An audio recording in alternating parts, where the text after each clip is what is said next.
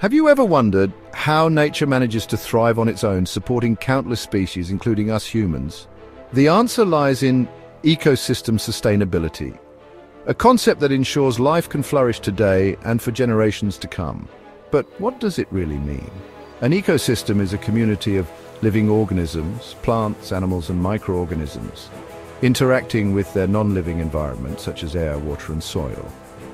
When we talk about ecosystem sustainability, we're referring to an ecosystem's ability to meet the needs of the present population without compromising the ability of future generations to meet their own needs. In simple terms, a sustainable ecosystem is a self-sustaining system. It can maintain itself without any external assistance. Everything within it works in perfect harmony. Resources are recycled, energy flows efficiently, and biodiversity ensures resilience. Think of it like a well-oiled machine. Every part of the ecosystem, whether it's plants producing oxygen or animals spreading seeds, plays a vital role in keeping the system balanced and thriving. So what makes an ecosystem sustainable? There are three essential characteristics. Energy flows through an ecosystem in one direction, from the sun to plants, producers, then to herbivores, primary consumers, and finally to carnivores, secondary consumers.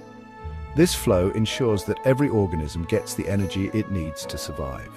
The sun is the ultimate source of energy for most ecosystems. Plants use sunlight for photosynthesis to create food, which then supports herbivores and carnivores in the food chain. In a sustainable ecosystem, nothing goes to waste. Dead plants and animals decompose into nutrients that enrich the soil, which then supports new plant growth. It's nature's way of recycling resources. For example, when leaves fall from trees and decompose, they release nutrients back into the soil. These nutrients feed new plants, completing the cycle. A diverse range of species ensures that ecosystems are resilient to changes like natural disasters or climate shifts. Each species plays a unique role in maintaining balance. In coral reefs or forests, biodiversity acts like nature's safety net ensuring that if one species declines, others can fill its role. Unfortunately, not all ecosystems are sustainable forever, especially when human activities disrupt them. Deforestation, pollution, overfishing and climate change are some of the biggest threats to ecosystem sustainability. When we cut down forests or pollute water bodies, we break the delicate balance that makes ecosystems self-sustaining. This not only harms wildlife, but also affects us directly because we rely on these ecosystems for clean air, water, food, and even medicine.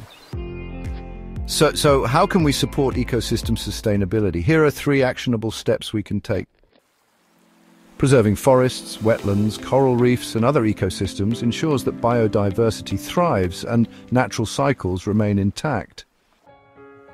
Minimizing waste and using eco-friendly products helps keep ecosystems clean and functional. Switching from fossil fuels to solar or wind energy reduces our impact on natural systems. Ecosystem sustainability isn't just about protecting nature, it's about ensuring our own survival too. By understanding how these self-sustaining systems work and taking steps to protect them, we can create a future where both people and the planet thrive together. What do you think is the most important step we can take to support sustainable ecosystems? Share your thoughts in the comments below. Don't forget to like this video, subscribe for more insights into environmental science and share this video with anyone who cares about protecting our planet.